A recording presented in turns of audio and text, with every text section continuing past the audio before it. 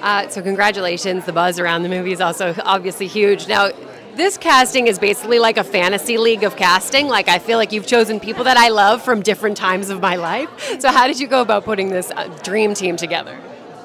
It, it was a bit just you know guts gut instincts of following people I really uh, gravitate towards, and um, I I with with Pamela, you know, seeing her documentary, it was a no brainer that she had to be our Shelley, and with Dave, I um, had gotten to meet him briefly once, and he expressed his desire for dramatic acting, and I was like, by any chance, would you be willing to kind of be in our our little movie? And and he was gung ho, and I think so many people have. Um, I got lucky that they just really responded to the material, um, and.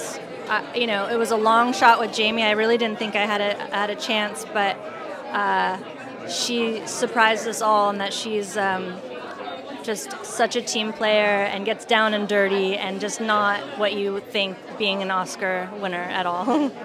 Thank you so much. I really appreciate it. Thank you so much for talking to us.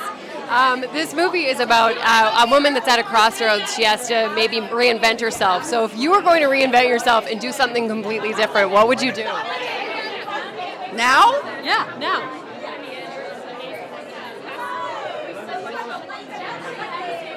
I would volunteer at a hospital. That's really nice. And you posted some gorgeous selfies earlier celebrating the day with the song Total Eclipse of the Heart. So, what was the significance of that song?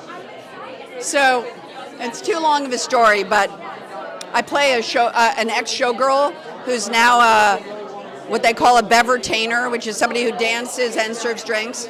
And we didn't know about that job when we first started the movie. I thought I was just a cocktail waitress. And so we, I was joking with Gia that I said, well, you know, if you had known that, you would have had me dance in the movie. And she said, oh, we're going to have you dance in the movie. And I was like, no, no, you're not. No, I'm not, because I wasn't supposed to.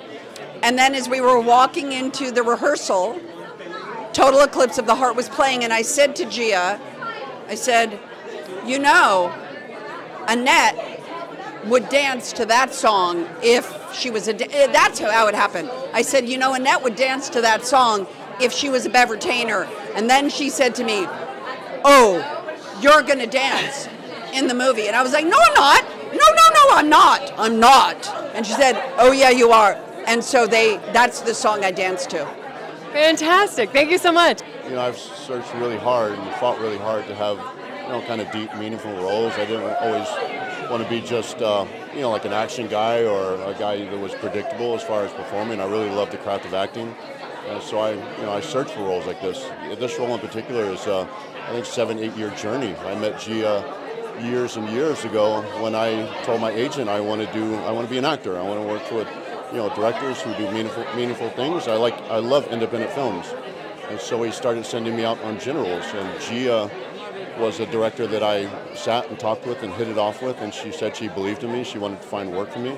And so we stayed in touch for years and years until this script came about. And she called me and said, "I'd really love you to play this role. Take a look at it." And I said, "Without a doubt." I, and I, I didn't know who the cast was at the time, but I read the script, and I, I loved it. I loved the role of Eddie, and I wanted to work with Gia. And then the rest fell into place. I was like, "Man, how lucky am I?" Yeah.